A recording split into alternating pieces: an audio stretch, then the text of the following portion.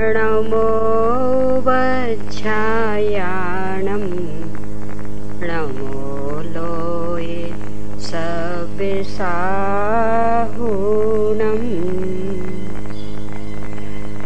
निज दोषे वश जड़ अथिरे तन में रहा हूँ पर मैं सदा थिर सचेतन ही रहा हूँ अतएव तन बिन दशा शिव सौखे पाने।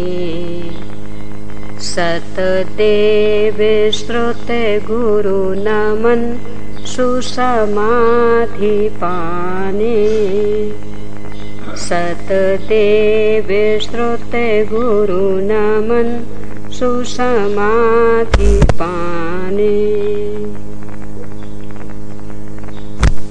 समता पूर्वक जीवन जीते हुए समता पूर्वक ही इन सभी संयोगों को कैसे छोड़ सकें? इस भावना को जागृत करने के लिए संलेखना के ऊपर अपन चर्चा कर रहे हैं। विषय यहाँ तक पहुँच गया।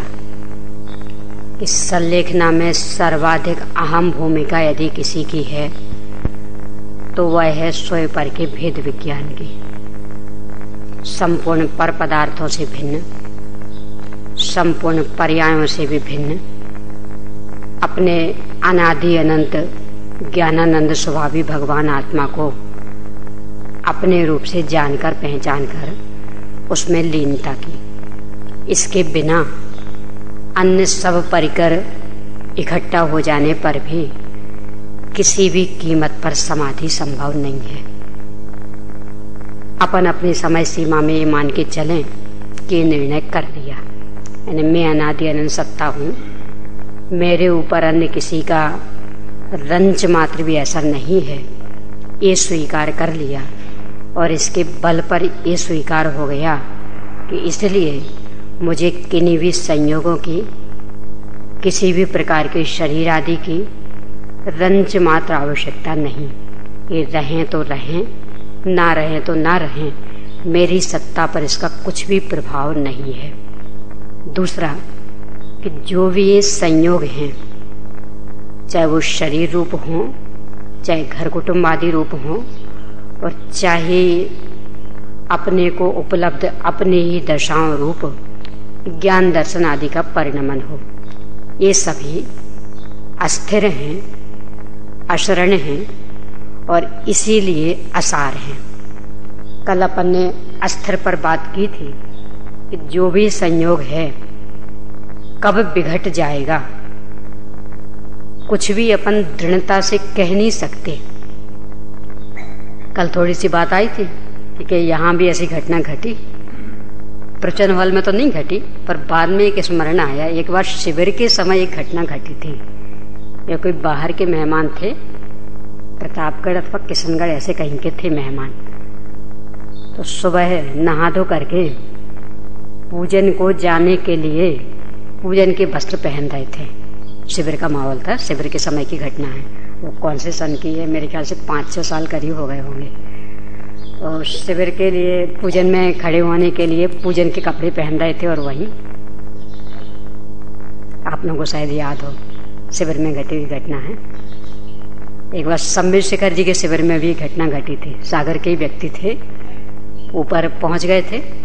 तो अपने, जो सबसे पहला नाला ही पड़ता ना, कौन सा है? गंधक नाला। सबसे पहला तो आप गंधक नाले पर बैठे और वहीं के वहीं। यानी कई ऐसे प्रसंग हैं। यानी जो शिखर जी की इतनी लंबी चौड़ी, यानी तीस किलोमीटर की यात्रा को गया, पूरा हट्टा कट्टा स्वस्थ व्यक्ति और बैठते साथी। यानी कितना ये संयोग अस्थिर है, यदि अपन अपने चारों ओर दृष्टि दौड़ाएँ तो इस पर आश्चर्य हो कि ये इतने दिन तक टिका कैसे है? यानी कैसे छूट गया इस पर आश्चर्य ना हो? इस पर आश्चर्य हो कि जहाँ निरंतर उत्पाद व्यय चल रहा है, उत्पाद व्यय स्वभाव ही इसका है तो इतने दिन तक टिका कैसे रहा है इस पर आश्चर्य हो। तो ये निरंतर अपने को ख्याल में रहे तो इन संयोगों के प्रति का आकर्षण समाप्त होगा। ये अस्थिरता और ऐसे ही अशरणता। कि जो भी संयोग है, ना अपन उसके लिए शरण दे सकते हैं और ना ही वह अपने लिए शरण दे सकता। जो भी जिसका हो रहा, वह पूर्णतया एकाकी ही भोगना पड़ता। मेरे में भी जो भी होगा, उसका फल पूर्णतया एकाकी भोगना है और अन्य में भी जो भी होगा, उसका फल उसे पूर्णतया अकेले ही भोगना पड़ता। जो संयोगी पदार्थ हैं, जो साथी हैं, वह उसमें रंच मात्र भी बंटवारा करके भुगतवाने में समर्थ नहीं हो पाते। यानी कोई भी कुछ भी मदद नहीं कर पाता। इस दृष्टि से यदि देखा जाए तो जितने भी संयोग हैं उनसे अपने को बड़ा अथवा छोटा मानना, वास्तव में ये अपनी बहुत बड़ी अनाथ प्रवृत्ति को आश्रय देना है। यानी इनसे तो अपन अनाथ बन रहे हैं। नियम सार में एक श्लोक आता है, टीका में, अनाथ और सनाथ। कि संयोगों की अपेक्षा से तो ये आत्मा अनादि काल से अनाथ दशा को ही पा रहा। पर यदि अपने भगवान आत्मा को स्वीकार कर ले तो चूँकि भगवान आत्मा अनादि अनंत विद्यमान है तो उसको स्वीकार करने से सनाथपना व्यक्त होगा, और वह सनाथपना ऐसा कि अनंत अनंत काल तक के लिए कभी भी अनाथ ना हो। यानी एकमात्र आत्मा ही परम शरणभूत है कि जिसके बल पर अनंत अनंत काल तक के लिए फिर कभी शरण विहीन नहीं होना पड़ेगा। एक आत्मा ही अनादि अनंत सौभाग्यशाली पदार्थ है कि जिसके बल पर अनंत अनंत काल तक सौभाग्य सुरक्षित रह सकता। अन्य कोई भी इसको सनाथ बनाने में सक्षम नहीं है। कोई भी इसको सौभाग्यशाली बनाने में सक्षम नहीं है। इसका निर्णय करना यह है संयोगों की अशरणता का निर्णय। अब इससे आगे की बात कि चूँकि संयोग सब अशरण हैं, कोई भी मदद देने में सक्षम नहीं है, इसका मतलब कि ये हमारे लिए पूर्णतया असार है। पूर्णतया असार है, अकिंचित कर है। यानी इनसे हमें कुछ भी उपलब्धि होने वाली नहीं है। अनंत अनंत पर पदार्थ मिलकर के भी हमें रंज मार दुखी करने में समर्थ नहीं है, यदि हम स्वयं दुखी ना हो तो। यदि हम हाँ बोले हाँ। हाँ। और इसीलिए सब पदार्थ अपने लिए आसार हो गए। यानी जब कोई किसी को शरण दे ही नहीं सकता कोई किसी की स्वयं की शरण छीन नहीं सकता तो दूसरे का मेरे लिए क्या असर रहा? यानी दूसरा मेरे लिए क्या कीमत रखेगा फिर? जैसे लोक में भी ऐसा कहते ना, कि आप अपने घर के बड़े आदमी होंगे, आप अपने घर के राजा होंगे, आप अपने घर के धनी होंगे, पर मेरे लिए क्या? मुझे तो मेरे पास जो होगा वो मिलेगा। तो आप अपने घर के राजा तो मैं मेरे घर का राजा। पर आपका धनी पना मेरे लिए कुछ कीमत नहीं रखता। पर द्रव्यसु लोष्टवत। कहने, दूसरे का धन तो मिट्टी के ढेले के समान है, कि जैसे मिट्टी का ढेला हमारी कोई आवश्यकता पूर्ति नहीं कर सकता, वैसे आपका धन हमारी किसी भी आवश्यकता की पूर्ति नहीं कर सकता। तो किसी भी आवश्यकता की पूर्ति नहीं कर सकता है, इसका मतलब आपका धन मेरे लिए असार हुआ, निस्सार हुआ, अकिंचित कर हुआ। तो जैसे लोक में धन के संदर्भ में प्रसिद्ध है ना, ऐसा ये वस्तु स्वरूप समझना। कि यहाँ कोई भी वस्तु किसी दूसरी वस्तु के लिए कुछ भी मदद सहायता नहीं कर सकता, किसी भी रूप में, कोई भी। तो जब किसी भी वस्तु का किसी दूसरी वस्तु के संदर्भ में कुछ भी हस्तक्षेप नहीं है तो उस एक वस्तु के लिए दूसरी वस्तु का होना और नहीं होना क्या कीमत रखेगा? यानी पूर्णतया असार हुई यानी मेरे लिए आप पूर्णतया असार आपके लिए मैं पूर्णतया असार क्योंकि क्या इससे क्या कीमत है? जब मेरी आप में कुछ भी मदद चलने वाली नहीं आपकी मेरे लिए कुछ भी मदद चलने वाली नहीं तो आपका होना और नहीं होना मेरे लिए क्या? और मेरा नहीं हो, होना और नहीं होना आपके लिए क्या? इसका मतलब असार यानी जितने जो कुछ संयोग हैं जितने जो कुछ पर पदार्थ हैं वह एक विवक्षित के लिए पूर्णतया असार निस्सार अकिंचित कर यानी जो भी हम अनादि से दुख भोग रहे, वह किन्हीं संयोगों के मिलने अथवा नहीं मिलने के कारण भोग रहे, ऐसा रंच मात्र नहीं। और जो भी सुख पाएँगे, वह किन्हीं संयोगों के मिलने अथवा नहीं मिलने के कारण पाएँगे, ऐसा रंच मात्र नहीं। यानी अनंत अनंत जिन्हें अपन प्रतिकूलता कहते, बुरा संयोग कहते तो ऐसी अनंत अनंत प्रतिकूलताएँ, अनंत अनंत बुरे संयोग मिलकर के भी मुझे एक समय के लिए भी दुखी नहीं बना सकते। और जिन्हें अपन अनुकूल संयोग कहते, अच्छे पदार्थ कहते, ऐसे अनंत अनंत सिद्ध भगवान मिलकर के भी मुझे एक समय के लिए भी सुखी नहीं बना सकते। यानी मैं सुखी रहूँ कि दुखी रहूँ, ये पूरा मेरे ऊपर निर्भर है, मेरे ऊपर आधारित है। अन्य संयोगों के ऊपर रंच मात्र आधारित नहीं है। तो जब अन्य संयोगों के ऊपर रंच मात्र आधारित नहीं है तो किस संयोग को अच्छा कहूँ और किसको बुरा? किसको मिलाने का प्रयास करूँ किसको हटाने का? अपने आत्म कीर्तन में पढ़ते हैं, बहुत सुंदर पंक्ति है। सुख दुख दाता कोई न आन। मोहे राग रुस दुख की खान। क्या लिख रहे हैं? सुख दुख दाता कोई भी आन नहीं, आन है अन्य, दूसरा। कि कोई दूसरा पदार्थ सुख अथवा दुख का देने वाला नहीं है। ये घर कुटुंब मिल गया, ये हमें सुखी कर रहा है। स्वस्थ शरीर मिल गया, इसलिए हम सुखी हैं। ये भरपूर धन पैसा मिल गया, इसलिए हम सुखी हैं। तो वहाँ क्या लिख रहे सुखदाता आन ना कि सुख को देने वाला कोई दूसरा नहीं है। और ऐसी दुखदाता कि नहीं, ये शरीर में बीमारियाँ घिर गई हैं, इसलिए हम दुखी हैं। ये घर कुटुंब अच्छा नहीं है, आज्ञा का पालन नहीं करता, इसलिए दुखी हैं। इस सेवा शुश्रा नहीं कर रहा, इसलिए दुखी। तो क्या लिख रहे वहाँ? कि दुखदाता आन ना कि दुख देने वाला अन्य कोई नहीं है। तो क्या है? मोह राग रुष दुख की खान। कि मेरे अंदर जो मोहराग देश के परिणाम चल रहे हैं, बस एकमात्र ये ही दुखों की खान है और इनका अभाव ये सुख की खान है। यानी सम्यक दर्शन, सम्यक ज्ञान, सम्यक चारित्र रूप दशा, बीतरागता रूप दशा, ये सुख की खान है और इससे विपरीत मोहराग देश के परिणाम, ये दुख की खान है। अन्य कोई भी संयोग का होना अथवा नहीं होना, न दुख का कारण है, न सुख का कारण है। इसलिए संपूर्ण संयोग मात्र ही मेरे लिए अकिंचित कर हैं पूर्णतया, असार हैं पूर्णतया। यानी उनका होना नहीं होना मेरे लिए कोई कीमत ही नहीं रखता। विचार कर अनंतानंद सिद्ध भगवान आके एक साथ समझाए अपने को। पंच परमेष्टि सभी एक साथ आकर के अपने को सुखी करें।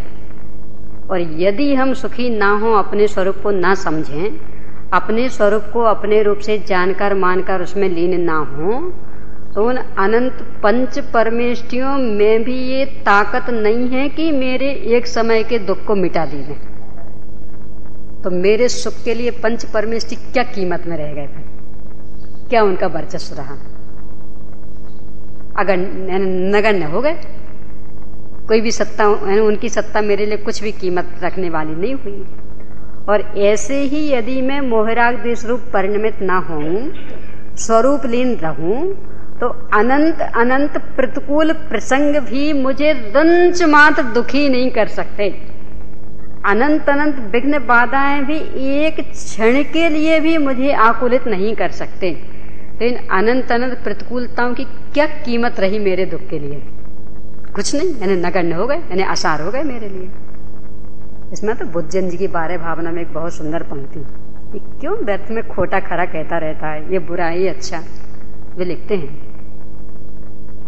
कोई खरा, कोई बुरा नहीं, बस तो विविध स्वभाव है। तू वृथा बिकल पेठान उर में। करते राग उपाओ है। कि कौन यहाँ अच्छा है, कौन यहाँ बुरा है? किसको तो सुख का कारण मान रहा है और किसको दुख का कारण मान रहा है? जगत में वस्तुएँ होती हैं, द्रव्य होते हैं, कोई सुख अथवा दुख के कारण नहीं होते। सुख अथवा दुख के कारण तो अपन अपनी विपरीत मान्यता से मान लेते हैं, पर मूल में वो सुख अथवा दुख का कारण नहीं है। यानी पंच परमेष्टि मूल में कोई सुख के कारण नहीं है और प्रतिकूल संयोग मूल में कोई दुख के कारण नहीं है। अपन मान रहे तो उस मान्यता से बे तो सुख अथवा दुख के कारण नहीं हुए। इसका मतलब बे हमारे सुख दुख के रूप में पूर्णतया अकिंचित आसान है और ये यदि दृढ़ता से समझ में आ जाए, निर्णय हो जाए, इसकी प्रतीति हो जाए तो क्या परिस्थिति बनेगी फिर? फिर किसके ऊपर कषाय करें? अभी अपने को लगता नहीं, ये दुख के कारण ये बहुत अपशब्द बोलती है ना। इसलिए ये दुख के कारण, हटाओ इनको। यदि नहीं हटा पाते हैं तो अपन भी कटु शब्द बोल के परेशान तो कर ही देवे। और ये सुख के कारण तो इनको बनाए रखो। और यदि इनके हटने का प्रसंग आवे तो हर कीमत पर ना हट पावे, इस दिशा में प्रयास करो। इसलिए तो सारा चल रहा है ना अपना। धन संपत्ति की ओर इतने आकर्षित हो रहे, घर कुटुंब में इतने लीन हो रहे हैं, यानी उनके अनेकानेक पापों की अनुमोदना करके भी जो उसमें लगे रहे हैं, उसके पीछे कारण क्या है अपना बोलो? मात्र इतना ही तो है ना, कि ये जो बेटा है, ये बुढ़ापे में सुखी करेगा हमें। ये जो पत्नी है, ये आगे जब हम असमर्थ हो जाएँगे, और चूँकि इसकी उम्र तो अभी छोटी है तो ये हमारी बुढ़ापे में सेवा करेगी। इसलिए उसके हर काम की अनुमोदना कर, करने को तैयार है। हर प्रकार की गुलामी करने को तैयार है। यानी अपने उंगलियों पर नचा सकते हैं वो बेटे। किस भाव के बल पर? कि बस उन्हें पता रहे कि नहीं पिता को ये भाव अंदर में समा गया कि बुढ़ापे में हमारी सेवा तो ये बेटा ही करेगा। और ये उन बेटों को ख्याल में आ गया कि पिताजी इस मान्यता से ग्रसित हैं। बुढ़ापा जब आएगा, सेवा का अवसर जब आएगा, तब आएगा। वो तो बहुत दूर की बात। पर अभी अपनी अंगुलियों पर नचा सकते। हैं अभी नाक में दम कर सकते। हैं और पिता अंगुलियों पर नाचने को तैयार भी हो जाता। क्यों? सुख का कारण तो यही है। बुढ़ापे का सहारा तो यही है। ये भी पता नहीं कि बुढ़ापा आना भी है कि नहीं फिर भी बुढ़ापे का सहारा ये है, ये सोच सोच करके कितने पापों की अनुमोदना करने को तैयार। कितनी उनकी गुलामी स्वीकार करने को तैयार। जैसा कहें, वैसा करने को तैयार। उन्होंने कहा, नहीं पिताजी, इतनी देर तो यहाँ बैठना पड़ेगा। इतनी देर को तो दुकान पर बैठना पड़ेगा।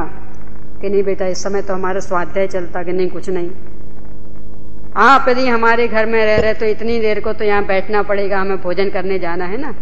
ठीक है बेटा, बैठेंगे। एक क्षण में स्वाध्याय की छुट्टी करके बैठने को तैयार हो जाता है।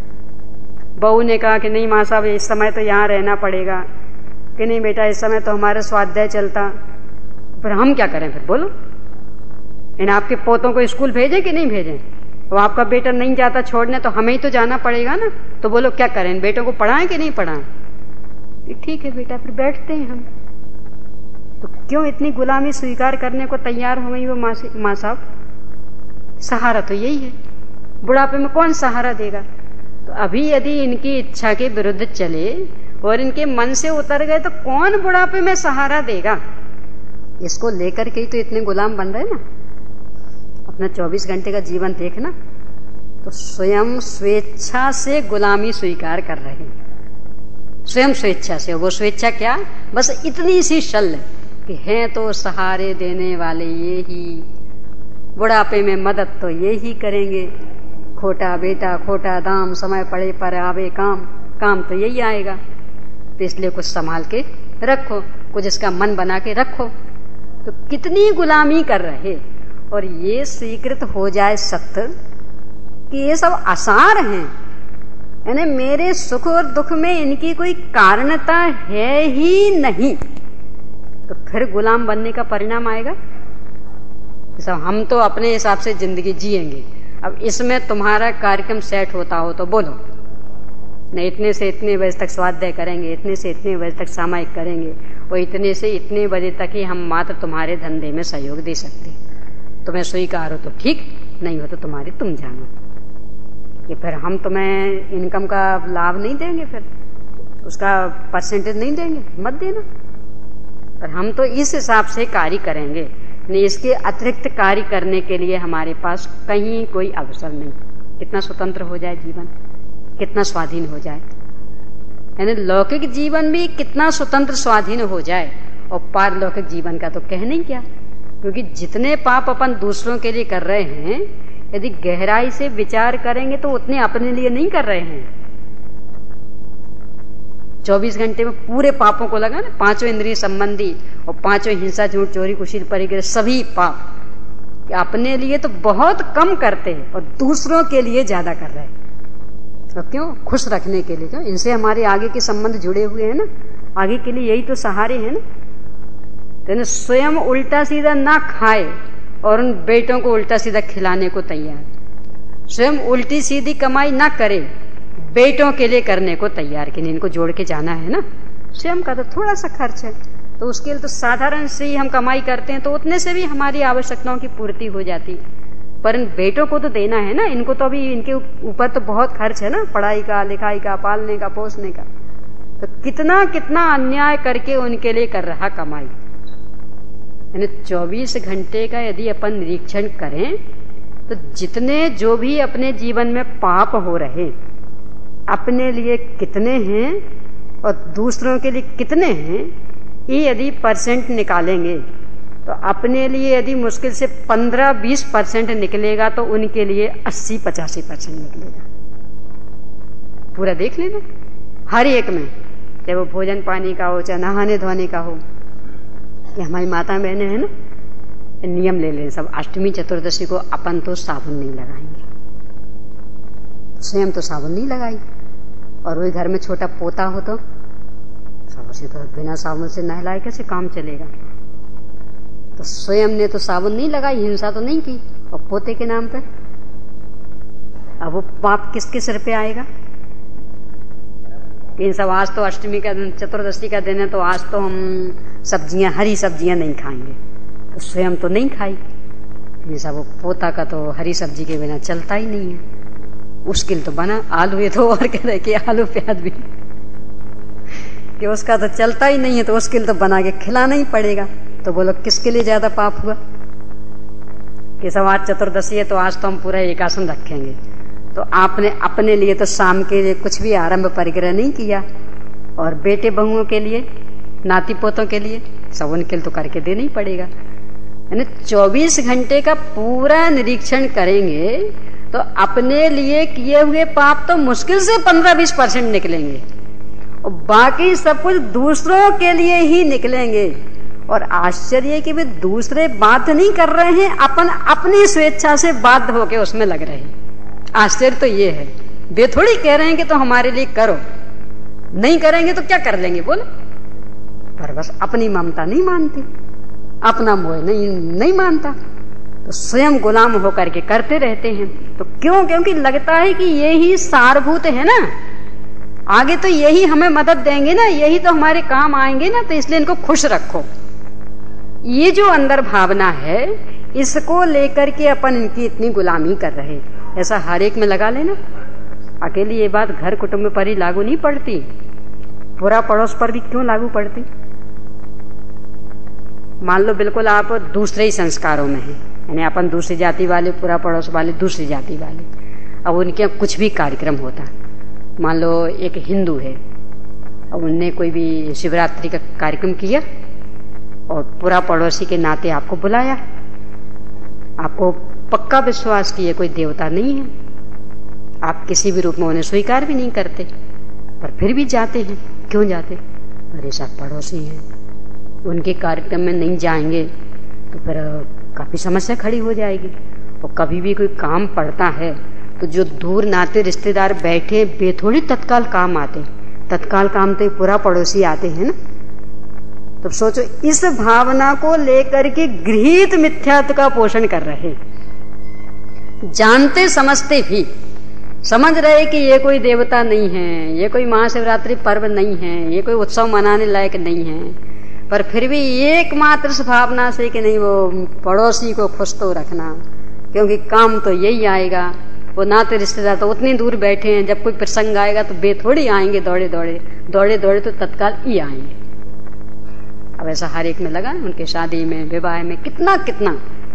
यानी ये व्यर्थ की पराधीनता कितनी अपन कर रहे, स्वेच्छा से। वो पड़ोसी बात नहीं कर रहा। मान लो आप नहीं जाएँ तो वो भी तो जानता है ना कि जैन है, इन देवताओं को मानते तो है इसे, उसे भी पता ही है पर फिर भी अपन मात्र इस शल्य के पीछे के नहीं, वो नहीं जाएँगे तो आगे का व्यवहार कैसे निभेगा? तो इसके पीछे करने को तैयार। वैद्य डॉक्टरों का भी कि अभी कोई बीमारी नहीं हो, और पूरा पड़ोस में कोई डॉक्टर रहता हो तो कभी भी कोई त्योहार पर बराबर भेंट वगैरह देना, मिलने जाना, उसको बुलाना कोई नाते रिश्तेदार नहीं है आपका। जाति का ही नहीं हो मान लो। यानी नाते रिश्तेदार होना तो दूर, आपकी जाति का ही नहीं है। फिर भी उसके साथ संबंध क्यों बना के रखना चाहते? ज़रूरत पड़ने पे काम आएगा ना। और किस तरह का संबंध? जो उसको अनुकूल है। जो हमें अनुकूल है, वो नहीं। यानी अपन बाज़ार का कुछ भी नहीं खाते हो। और उसके यहाँ भेंट देने जाएँगे तो पैकेट कहाँ से आएगा? अपन अपने बच्चों को चॉकलेट नहीं खिलाते हो, टॉफी नहीं खिलाते हो, बाज़ार के बिस्किट नहीं खिलाते हो। और उनके बच्चे का बर्थडे हो और ये कोई चीज़ें देने का भाव आएगा तो कौन सी? वो घर के बने बिस्किट नहीं। सब घर के बने, उनके यहाँ क्या शोभा देंगे? तो बाज़ार का पैकेट, पार लेके बिस्कुट लेके आएँगे। कि आप खिलाते अपने पोते को? नहीं, हम तो सब बिल्कुल मना। कभी पोते को खाने में बिस्कुट तो घर पे बना देंगे, पर बाज़ार के तो नहीं। और उसके यहाँ देने के लिए? तो क्यों ये गुलामी कर रहे? ये हिंसा आदि पापों की अनुमोदना क्यों करने का परिणाम आ रहा? ये सब काम तो ये पास का ही डॉक्टर आएगा ना। हमारा फैमिली डॉक्टर तो दस किलोमीटर दूर रहता है तो वो थोड़ी तत्काल काम आएगा। यदि कभी अचानक बीमार हुए तो ये जो पास में रहता है, वो ही काम आएगा। अब वो अवसर कभी आएगा कि नहीं आएगा, ये तो भगवान जाने।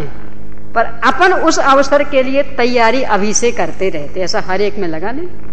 वकील रहता हो तो वकील, इंजीनियर रहता हो तो इंजीनियर। मतलब जो जो भी रहते हैं, जिन जिन से अपने अपने को काम पड़ने की संभावना दिखती है तो कितनी गुलामी करते रहते स्वेच्छा से। उनकी ओर से कुछ भी नहीं है ऑफ़र। कि नहीं सब आप हमें खुश रखिए। अपन स्वयं कि कभी काम पड़ा तो ये काम आएँगे। और इसके लिए कितना करते रहते क्यों करते रहते कि लगता है यही तो हमारे सुख दुख के कारण है ना? यानी इनकी खुशी हमें सुखी करने में निमित्त बनेगी। और इनका अप्रसन्न होना, इनका दुखी होना, इनका अपने से विरुद्ध हो जाना, ये अपने दुख में कारण बनेगा। बस इतनी सी शल्य के पीछे अपन इतनी गुलामी करते। और ये समझ में आ जाए कि यदि हमें मोहराग देश परिणाम ना हो तो दुनिया की कोई भी कीमत हमें दुखी नहीं कर सकती। और यदि हम में बीतराग परिणाम न हो तो ये रागी द्वेषी मोही जीव तो दूर ही रहो। साक्षात पंच परमेष्ठी भी आ जाए तो भी वे हमारे एक समय के भी एक दुख को नष्ट करके सुखी नहीं कर सकते। यानी सारे संयोग सुख और दुख के लिए सुख और दुख के लिए पूर्णतया अकिंचित कर हैं।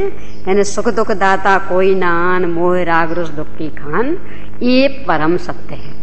और ये सत्य रहे, तब कहीं जाकर के इन संयोगों पर से दृष्टि छूटेगी। तब कहीं ये असरण लगेंगे। तब कहीं इनकी ओर का आकर्षण नष्ट होगा। तो फिर क्या होगा आकर्षण फिर? शुद्धातमयरु पंच गुरु, जग में शरणो दो। मोह उदय जिय के वृथा आन कल्पना हो। कि बस दो ही शरण लगेंगे, शुद्धात्मा और पंचगुरु। तो फिर पंचगुरु भी शरण तो लगेंगे ना? अभी तो आप कह रहे थे, बेबी, हमें रंचमा सुखी नहीं बना सकते। और अब तो बात आ गई ना वही। अरे, इस रूप में नहीं। इस रूप में शरण लगेंगे कि यदि हम उनकी शरण में जाएँगे तो वे अपने पास रखेंगे नहीं। वे अपने में उलझाएँगे नहीं हमें।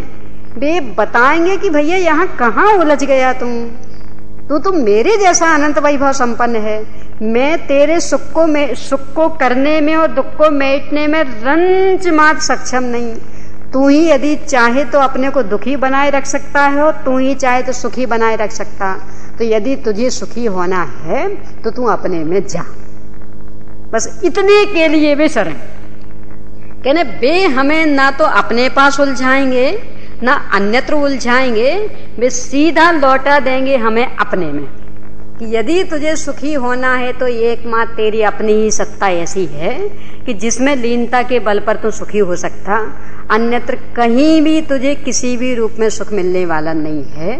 ये सतत वे प्रेरणा देंगे, इसलिए उनकी शरण कहीं। लड़की के संदर्भ में कहा जाता ना कि लड़की को दो ही शरण। एक पति का घर, एक पिता का घर। तो पिता का घर भी शरण तो है ना? नहीं वो शरण रहने के लिए नहीं। यदि कभी पति के घर में रहते रहते उब गई, कोई झगड़ा आदि हो गया, और उसको लगा कि नहीं, मैं तो यहाँ नहीं रहूँगी, और ये सोच करके यदि पिता के घर में जाए तो पिता समझा बुझा के उसे पति के घर वापस कर देंगे। और यदि अन्यत्र चली जाए तो? तो सर्वतशील के लुटेरे ही बैठे हैं। पति के घर भेजने में सक्षम कोई होने वाला नहीं। तो इसलिए पिता का घर शरण कहा। कहने, पिता के घर जाएगी तो पिता अपने घर रखेंगे नहीं। समझा बुझा करके उसकी समस्या का समाधान करके उसे पुनः अपने घर में भेज देंगे। इसलिए पिता का घर शरण तो पंच परमेश्वरी भगवान अपने पिता। और स्वयं आत्मा ये अनादि अनंत पति। तो इस घर में हम नहीं रह पा रहे हैं तो पंच परमेष्टि भगवान की शरण में जाएँगे तो वे बारंबार समझा बुझा करके, वस्तु के स्वरूप का ज्ञान करा करके, तत्व का प्रतिपादन करके, ये बताएँगे कि यदि तुझे शरण मिलेगी कहीं तो एकमात्र ही कालिक आत्मा में। अन्यत्र कहीं शरण मिलने वाली नहीं। यदि तू सुखी होगा तो एकमात्र अपने स्वरूप में लीनता के बल पर, अन्यत्र कहीं से भी सुख मिलने वाला नहीं। ऐसा करके भी वापस लौटा देंगे अपने घर में, इसलिए उनको शरण कहा। तो बस जगत में यदि कोई शरण है तो दो ही। कि वास्तविक शरण तो अपना स्वरूप और औपचारिक शरण कि जहाँ से फिर हम अपने घर में लौट आवे, वे पंच परमेश्वरी, अन्य कोई भी पर पदार्थ तो रंच मात्र शरणभूत नहीं। ये तो मोह के उदय से शरणभूत जैसे लग रहे। और ये यदि जच जाए बात, तब कहीं जाकर के सारी गुलामी छूटे। कहीं सब दुनिया भी तो हमें अच्छा बुरा कहती है, अकेले हम ही थोड़ी अच्छा बुरा कहते हैं। ये हमारे लिए अच्छे, ये सुखदाई, ये हमारे लिए बुरे, ये दुखदाई। तो ऐसा हम ही अकेले कह रहे हो, ऐसा नहीं है, दुनिया हमें भी कहती कि सब हमारे लिए तो सहारा यही है, बाकी दुनिया में कोई हमारे लिए सहारा नहीं। तो ये सारा व्यवहार चल रहा ना। वास्तव में व्यवहार ही राग देश परक है वस्तु स्वरूप परक नहीं है। इस व्यवहार में राग द्वेष ही काम करता है। यानी हम अच्छे हैं, इसलिए दुनिया अच्छा कहती ऐसा नहीं है। हम बुरे हैं, इसलिए दुनिया बुरा कहती ऐसा नहीं है। तो क्या है कि जिसको हमारे प्रति राग होगा, वो हमें अच्छा कहेगा। जिसको हमारे प्रति द्वेष होगा, वो हमें बुरा कहेगा। और हम कैसे? कि अच्छे बुरे से कोई लेना देना नहीं। यानी जिसके मन में राग होगा, वो अच्छा कहेगा, बुरे होने पर भी। और जिसके मन में द्वेष होगा, वो बुरा कहेगा अच्छा होने पर भी। यानी मूल में अच्छा बुरा कुछ भी नहीं होता। ध्यानत राय जी से पूछा? ध्यानत राय जी से किसने पूछा? सब आपको कोई अच्छा कहते हैं, आपको कोई बुरा कहते हैं, आप वास्तव में कैसे हैं? अच्छे हैं कि बुरे?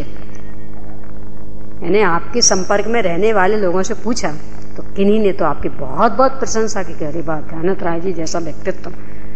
न भूतो न भविष्य और किन्हीं ने तो बहुत निंदा की रहे बे, धर्म का ढोंग करते हैं, बड़े अपने को धर्मात्मा मानते हैं, ऐसे हैं ऐसे हैं, ऐसे तो आप मूल में कैसे हैं? तो वे कहते हैं, राग भावते, सज्जन जाने, द्वेष भावते, दुर्जन माने। राग द्वेष दो मम नाही। ध्यानत में चेतन पद माही। क्या लिख रहे हैं? कि जो ये हमें सज्जन कह रहे हैं ना, मैं सज्जन हूँ इसलिए नहीं, उनके मन में मेरे प्रति राग है इसलिए। और जो ये मुझे दुर्जन कह रहे हैं ना तो मैं दुर्जन हूँ इसलिए नहीं उनके मन में मेरे प्रति द्वेष है इसलिए। यानी जो मुझे अच्छा बुरा कह रहे हैं तो ये वो अपने अपने मन का दिग्दर्शन कर रहे हैं, मैं अच्छा बुरा हूँ इसलिए अच्छा बुरा कह रहे ऐसा नहीं। तो आप कैसे हैं कि ना मैं राग वाला हूँ ना मैं द्वेष वाला हूँ, मैं तो एक चेतन पदमा हूँ। मैं तो एक चेतन स्वभावी भगवान आत्मा, ज्ञानानंद स्वभावी भगवान आत्मा हूँ। ना मैं अच्छा हूँ, ना मैं बुरा हूँ, मैं तो एक जीव द्रव्य हूँ, जीव तत्व हूँ। अच्छा बुरा क्या होता? यानी द्रव्य कोई अच्छा बुरा थोड़ा ही होता। अच्छा बुरा कहना ही राग द्वेष का प्रतीक। अच्छा बुरा शब्द ही राग द्वेष को लेकर के खड़ा होता। तो मूल में कोई अच्छा बुरा नहीं है। मूल में कोई सुख दुख का कारण नहीं है, इसलिए सुखी होने के लिए और दुखी होने के लिए ये सारे संयोग ही असार हैं, निस्सार हैं, निरर्थक हैं, अकिंचित कर हैं। आचार्य कुंद कुंद स्वामी ने प्रवचन सार में पुण्य का उदय भी सुखी करने के लिए अकिंचित कर, ये प्रकरण लिखा। बहुत लंबा चौड़ा। यानी करीब पैंसठवीं गाथा से और पचहत्तरवीं गाथा तक। पैंसठ से पचहत्तर, और इससे आगे, और इससे पहले से भी शुरू हो गया वो। यानी करीब हाँ प्रवचन सार में करीब पंद्रह सोलह गाथाओं तक ये प्रकरण लिखा। उसकी टीका करते हुए अमृत चंद्र स्वामी ने भी बहुत अच्छा विश्लेषण किया। तो वे लिखते हैं उसमें कि ये जो शरीर और संयोग हैं, यानी शरीर मूल और इसके साथ ही घर कुटुंब आदि ये सब आत्मिक अतीन्द्रिय आनंद के लिए तो पूर्णतया अकिंचित कर है ही। आत्मिक अतीन्द्रिय आनंद तो पूर्णतया स्वाधीन है ना? तो उसके लिए तो पूर्णतया अकिंचित कर है ही। इंद्रिय जन्य सुख के लिए भी पूर्णतया अकिंचित कर। आत्मिक अतीन्द्रिय आनंद तो इन सबसे मिलने वाला है ही नहीं, वह तो पूर्णतया स्वाधीन तत्व। वह तो पूर्णतया स्वरूप लीनता से ही व्यक्त होगा। पर जो ये इंद्रिय जन्य सुख हमें ख्याल में आ रहा है, इसका भी कारण ये शरीर नहीं है। इसका भी कारण घर कुटुंब नहीं है। इसका भी कारण धन धान्य आदि नहीं है। इसके लिए भी ये पूर्णतया अकिंचित कर। यानी ये तो दोनों ही प्रकार के सुख के लिए अकिंचित कर ही हैं। बहुत अच्छे से सिद्धि की, तर्क युक्ति आदि से, बहुत मार्मिक ढंग से। करीब पंद्रह सोलह गाथाओं तक ये प्रकरण लिया और उसकी टीका में इंद्र आदि को भी लेकर के इंद्र आदि जो भी थोड़े बहुत सुखी देखे जाते हैं ना, इंद्रिय जन सुख तो वे उस वैकृक शरीर के कारण नहीं है सुखी। वो जो वहाँ भरपूर पुण्य के उदय में सामग्रियाँ मिली हैं, उसके कारण नहीं है सुखी। जो वो कषाएँ थोड़ी कम है ना, उसके कारण सुखी है। यानी इंद्रिय जन सुख भी किस लिए है वहाँ? तो वैकृक शरीर है, इसलिए नहीं।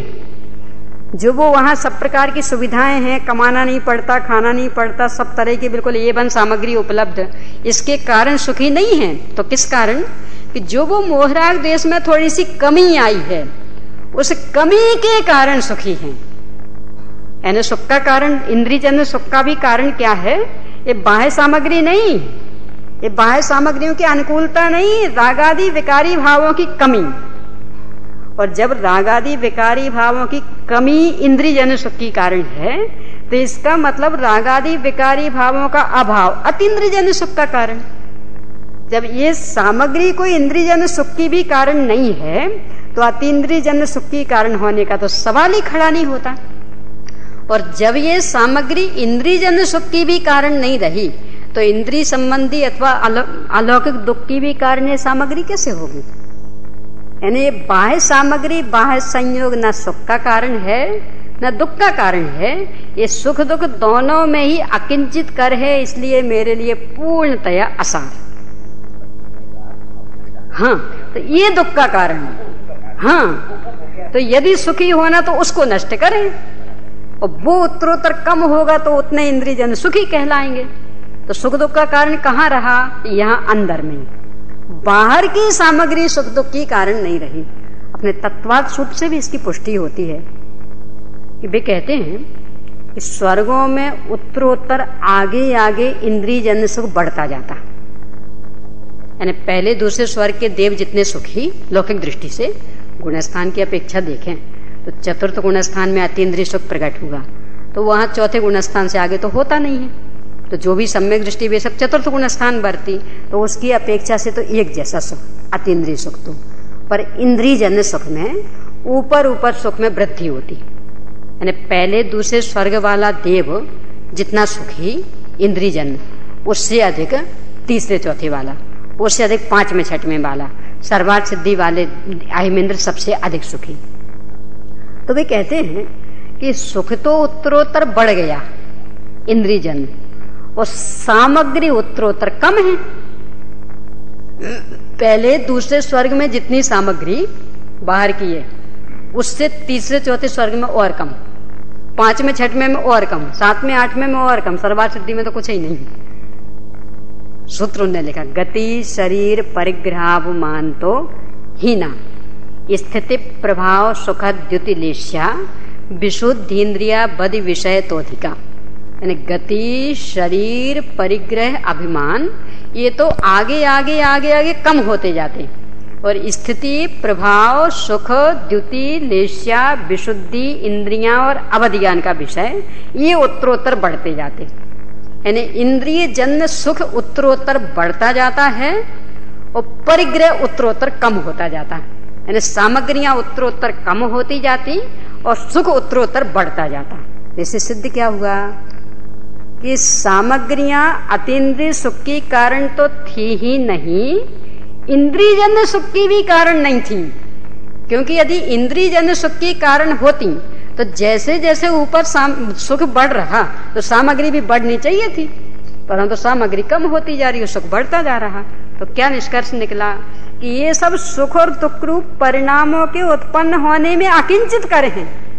यानी इनकी कुछ भी अहम भूमिका नहीं है। तो जब कुछ भी अहम भूमिका नहीं है तो क्यों इनके संग्रह में उलझे? क्यों इनके विग्रह में उलझे कि नहीं सब ये रहना चाहिए, ये नहीं रहना चाहिए? कि क्या लेना देना है? सुख के कारण नहीं है, इसलिए रहने चाहिए के लिए कहा अवसर? दुख के कारण नहीं है, इसलिए हटाऊं इसके लिए कहा अवसर? तो जो इनकी स्थिति बनती है, बनने दो ना, सहज स्वीकार कर लो ना। यानी ये रहते हैं तो रहें हटते हैं तो हट हट जाएँ। ना मुझे रहने से कोई लेना देना है इनके, और ना इनके हटने से कोई लेना देना है। जो भी इनकी स्थिति बने, मुझे सहज स्वीकार क्यों? क्योंकि मेरा इनसे कोई नाता ही नहीं है ना। मेरे सुख दुख के कारण ही नहीं है ना। मेरे लिए पूर्णतः अकिंचित कर है ना। तो जब अकिंचित कर है तो मैं एक समय का भी उपयोग इनको हटाने अथवा मिलाने में क्यों बर्बाद करूँ? यानी मैं इनसे पूर्ण निरपेक्ष होता हूँ। इनका ये रहे तो रहे, नहीं रहे तो रहे मुझसे। संबंध रखने की आवश्यकता नहीं है। ये निर्णय हो, तब कहीं इन संयोगों से दृष्टि होती और तब कहीं जीवन में पवित्रता आएगी। विशुद्धि तब जगेगी। क्योंकि अभी तो यही शरणभूत लगते हैं तो जैसे बने तैसे मिलाओ। बुरे लगे तो जैसे बने तैसे हटाओ। फिर उसके लिए चाहे अन्याय करना पड़े, चाहे अनिति करना पड़े, कौन गिने? यानी हमें जज गया कि इनको हटाना है। सीधे सीधे तो नहीं हटते। तो टेढ़े हटाएँगे। यानी ये निर्णय कर लिया कि ये दुख के कारण तो इनको हर कीमत पर हटाना तो जैसे हटेंगे तैसे हटाएँगे। और ये सुख के कारण, इनको हर कीमत पर रखना तो जैसे रहेंगे तैसे रहे, रखेंगे। चाहे अन्याय करना पड़े, चाहे न्याय, चाहे नीति करनी पड़े, चाहे अनीति, कौन गिने फिर इसको? तो ये सब अन्याय, अनीति कब नष्ट हो? जीवन सदाचारी में कब बने? कि जब ये लगे कि कोई भी पर पदार्थ मेरे सुख दुख का कारण किसी भी रूप में है ही नहीं, एकमात्र मेरे मोहराग देश के परिणाम दुख के कारण हैं और सम्यक दर्शन, सम्यक ज्ञान, सम्यक चारित्र के परिणाम सुखमय और सुख के कारण हैं, भीतरागता सुखमय और सुख के कारण है, ये निर्णय हो तब कहीं ये अपनी खोटी वृत्ति छूटे। तब कहीं ये आसार लगे, तब कहीं ये अकिंचित कर लगे। और तब कहीं इनके प्रति का आकर्षण नष्ट हो तो इनके रहने और नहीं रहने में संभाव जगे। और इसके बल पर शरीर के रहने और नहीं रहने में भी संभाव जगे। इसके बल पर संलेखना हो सके। अभी तो अपने को लगता नहीं, यही शरीर है तो ही धर्म कर पाएँगे, अन्यथा कैसे करेंगे? करे, नहीं है धर्म का कारण। पहले अपन चर्चा कर चुके ना यदि ये धर्म का कारण होता तो संसारी जीवों के तो किसी ना किसी रूप में कोई ना कोई शरीर विद्यमान। तो वे तो धर्मात्मा बन जाते हैं। पर जिन सिद्ध भगवान के किसी भी रूप में कोई भी शरीर नहीं है, सबसे बड़े अधर्मात्मा वे होते हैं। क्यों? शरीर धर्म का कारण। और उनके तो शरीर है ही नहीं। इस संपूर्ण अनुकूल सामग्री तो सुख की कारण। और उनके तो कुछ भी है नहीं तो वे सबसे अधिक दुखी होते हैं। पर वे तो परम पूज धर्मात्मा। अव्यवाद सुखी तो इसका मतलब ये शरीर नहीं है धर्म का कारण। ये शरीर नहीं है सुख का कारण। ये संयोग नहीं है धर्म के कारण, ये संयोग नहीं है सुख के कारण। तो क्या सुख दुख का कारण? एकमात्र भीत रागता है सुख में और सुख का कारण, और एकमात्र मोह राग देश के परिणामी दुख में और दुख के कारण। तो यदि सुखी होना है तो इन मोह राग देश परिणामों को नष्ट करने की दिशा में किया गया प्रयास। ये ही वास्तविक प्रयास। इन संयोगों को मिलाने अथवा हटाने में किया गया प्रयास है तो पूर्णतया निरर्थक प्रयास, पूर्णतया असफल प्रयास। तो ये निर्णय चाहिए अपने को। अब इसके बाद अपन चर्चा, इस पे सोचना हो, क्योंकि विषय तो ऐसे कि मूलतः तो भावना पर रखे। यानी समझने की दृष्टि से तो इन्हें के नहीं बिंदु हैं। बस चार पाँच बिंदु का समझ में आ जाए, बस काम हो गया। पर ऐसे मात्र समझ में आने से काम नहीं चलता, जब तक वो भावना परक ऐसा ना जगे। यानी अलग अलग एक एक नालय के नहीं, ये जो है ना, इनको हम दुख का कारण मान बैठे, ये नहीं है दुख के कारण। इनके प्रति जो मेरा द्वेष चल रहा, वो दुख का कारण है। इन पंच परमेष्टियों को जो हम धर्म का कारण मान बैठे हैं ना, ये धर्म के कारण नहीं है। इनसे जो हम बीतरागता की शिक्षा ग्रहण करके अपने अंदर बीतरागता प्रकट करेंगे, वो बीतरागता सुखमा अन्य कोई नहीं मिटा पाता। जब कोई बीमारी आती है तो उसको मिटाने के लिए डॉक्टर ही शरण होता है। अन्य तो कोई नहीं मिटा पाता। तो समझ लेना सारे किए कराए पे पानी फिर गया। यानी जिस समय डॉक्टर की शरण ली, उस समय भी लगे कि वास्तव में डॉक्टर नहीं है शरण। ये जो बीमारी मिटी है, ये डॉक्टर के निमित्त के कारण नहीं मिटी है।